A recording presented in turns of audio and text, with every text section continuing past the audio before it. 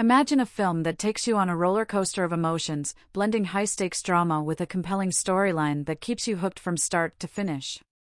Welcome to Bad Genius, 2024, US remake, a thrilling adaptation of the acclaimed 2017 Thai film by Nattawut Poonpiriya.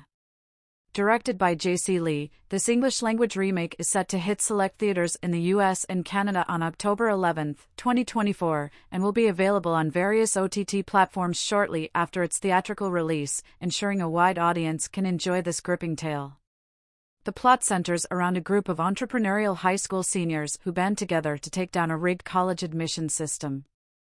Benedict Wong stars as the mastermind behind the operation, bringing his unique blend of intensity and charisma to the role. He is joined by a talented cast including Callina Liang, Jabari Banks, and Taylor Hickson, each delivering standout performances that add depth and nuance to the story. As these students devise an elaborate scheme to outsmart the corrupt system, the film highlights themes of justice, ingenuity, and the lengths to which people will go to achieve their dreams.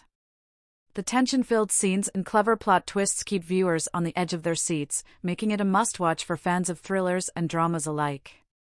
With its sharp writing, dynamic performances, and thought provoking themes, Bad Genius 2024 US remake is poised to be a standout film of the year.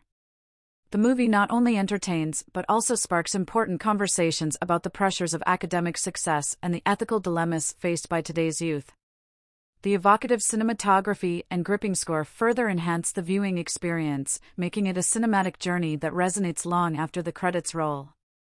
As the release date approaches, anticipation continues to build, and fans are eager to see how this remake will bring a fresh perspective to the beloved original.